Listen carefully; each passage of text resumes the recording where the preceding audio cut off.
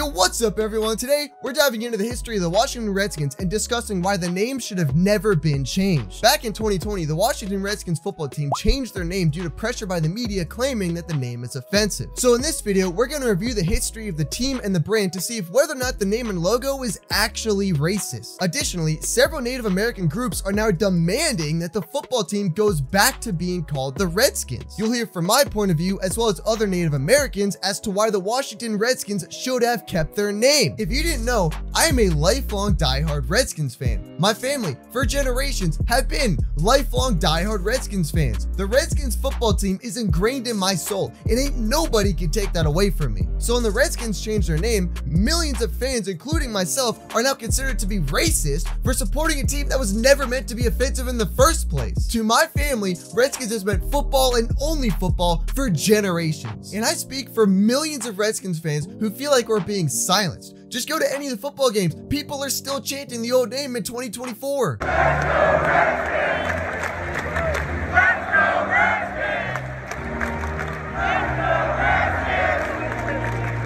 That being said, I want to at least acknowledge the people who dislike the name or find it to be offensive. Obviously, they changed the name for a reason, because there is a select group of people who may find it to be derogatory. Words mean a lot of things to a lot of different people. In this case, we have the word Redskin, which to some people represents the legendary football team, while others find it to be insulting. So before we go any further, I want to establish that the point of this video is to showcase my perspective as a lifelong diehard Redskins fan. There are two sides to every coin, and everyone is entitled to their own feelings and perspective. So if at any point in this video it seems like I'm biased, I am. But that's because I love the football team. 25 years ago, I was a Redskins fan. Today, I'm a Redskins fan. Tomorrow, I will still be a Redskins fan. Context is everything, and the intent of the football team was not to be racist. The name was chosen in 1933 to honor Native Americans, particularly because the team had a famous Native American coach and four Native American players. Prior to this, the team used to be called the Boston Braves, but they rebranded to the Redskins to prevent confusion with the baseball team. In fact, the Boston Red Sox and the Boston Redskins played in the same stadium for a few years. The Redskins were the only minority representation in the NFL and in actuality, it represented a real person, not a mascot. King Tammany is the original inspiration for the Redskins' native imagery. Tammany was an iconic symbol of peace and diplomacy in the 17th century. He was known for his noble leadership and was adopted as a legendary patron saint of American patriotism. If you ask me, that's a pretty damn cool person to represent the team. The Redskins logo was inspired by Chief John Two Guns Whitecalf. He was an honorable figure from the Blackfeet Nation and was recognized for his role as a leader and cultural ambassador ambassador of Native Americans. Whitecalf served as the face of the Washington Redskins for nearly 50 years. Prior to this recognition, he was one of the most famous Native Americans of the 20th century. In fact, he was the inspiration for the face that appeared in the United States Buffalo nickel. Thomas Whitecalf, a family member, voiced his frustration that the family was not even consulted about the removal of the Redskins logo. Whitecalf said, quote, the fans want him back and we want him back. So not only do the fans want him back, but the family of the Native American chief who inspired the logo logo wants it back. This story covering this family had millions of people talking about it, and even Elon Musk reposted it on Twitter. It's really unfortunate that the Native American family who represented the Redskins logo for nearly 50 years was never even contacted by the team about the name change. The most outrageous, infuriating thing in the world. This is what Ryan Wetzel, the grandson of the Redskins logo designer, has to say.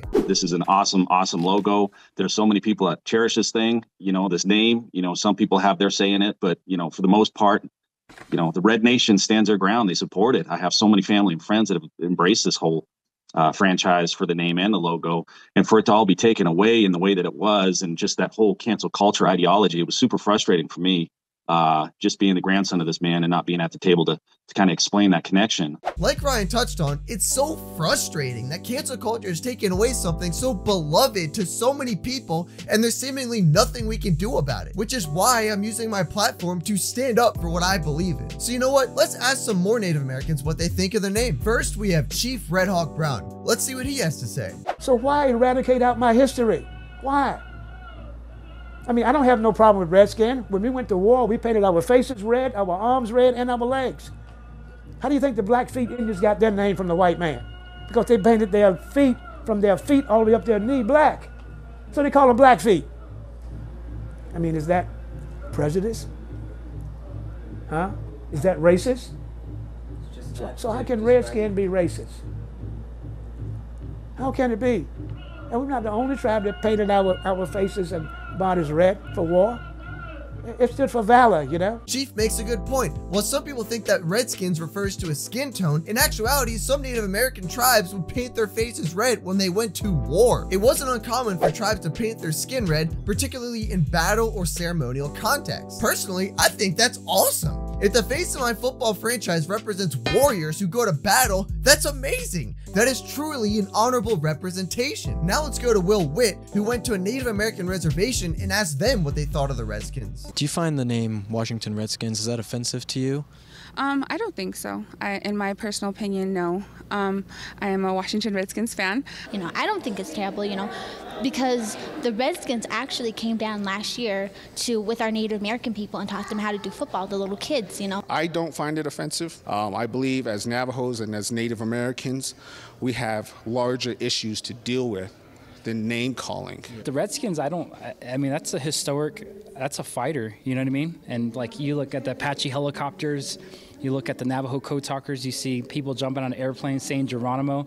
So that's just admiration that the, the, the American cultures that's adapting and bringing into their their environment. Another funny video by Will Witt is when he dressed up in a sombrero and asked people about cultural appropriation. The people that got offended were random college students, while the real Mexicans thought it was fantastic. This is interesting because it seems like that's the same problem with the Redskins. Yes, there may be some natives who dislike the name, but it seems like there are more white people making a fuss about it who are completely ignorant to the matter and don't know any of the honorable history of the team or the intent behind it. It's the uneducated people who claim their opinion is fact despite having no connection to the Redskins or Native Americans. Walmart is racist!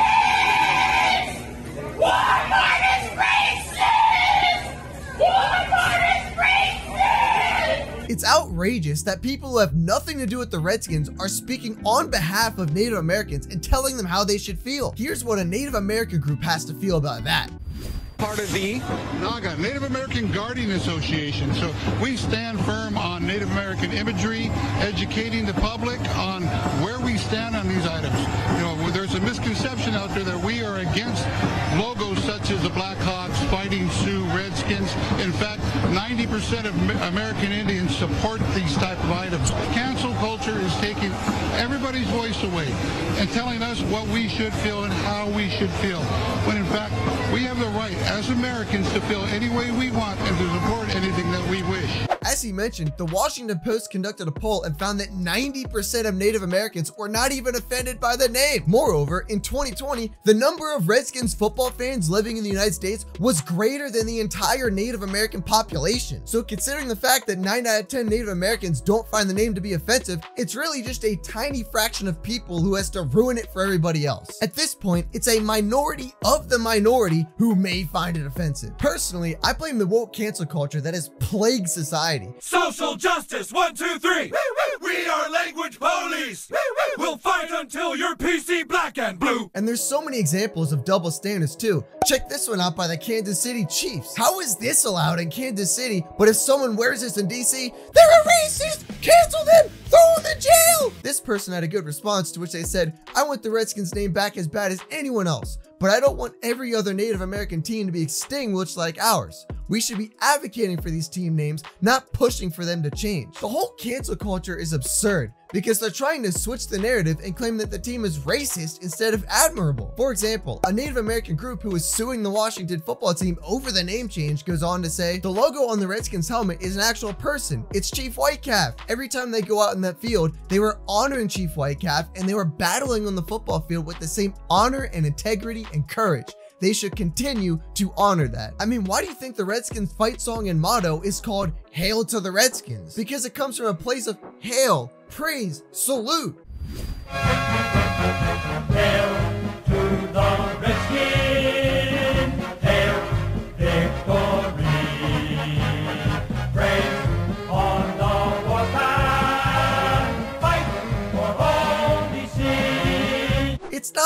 To hate. The whole point of rebranding your team is to showcase a warrior mentality, to portray a figure that goes to war in a dignified fashion, which is why changing the Redskins name disregards and silences the positive legacy that the Redskins have built over the last century. It's an attempt to cancel the passionate fans who've invested their emotions, time, and unwavering support into the team. If you don't like the Redskins name, that's fine. No one guarantees you a perfect life where you're never offended by anything. Words can only bother you if you let them. Intent is everything. Someone came to me and called me a redskin to my face.